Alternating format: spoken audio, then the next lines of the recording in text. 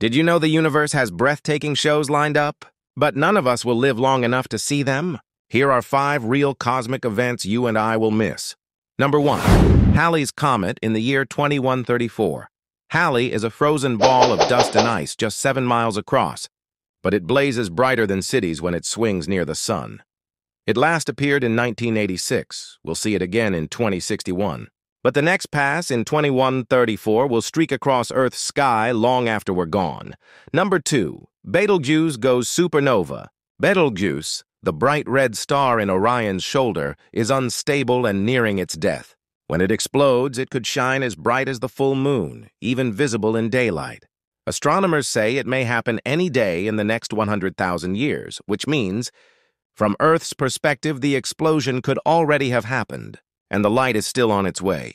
Number three, a new North Star. Earth doesn't spin like a fixed top.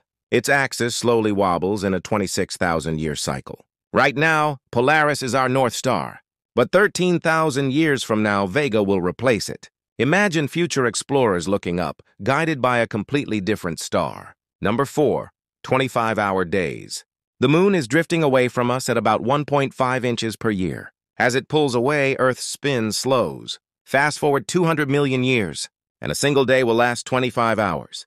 The extra hour could change everything from tides to the length of seasons. And number five, the Milky Way collides with Andromeda. Our neighboring galaxy is on a slow-motion collision course. In about 4 billion years, the night sky will light up with billions of new stars as the galaxies merge. It won to be violent. Stars are too far apart to smash together. But the shapes of both galaxies will be torn apart and reborn as one giant elliptical galaxy. So yes, the universe has spectacular shows planned. We just happen to be alive in a fleeting moment, catching only a tiny piece of its story. Like and subscribe, because space is too vast for one lifetime.